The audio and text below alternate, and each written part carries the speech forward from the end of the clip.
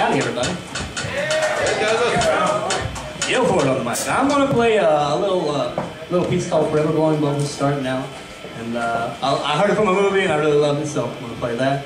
Then I'm gonna improvise, and then these jokers behind me, I got Tyler on drums and uh, Conner on bass, as Lewis has said. They're gonna back me up on a little song called "Cliffs So, um, wish us luck.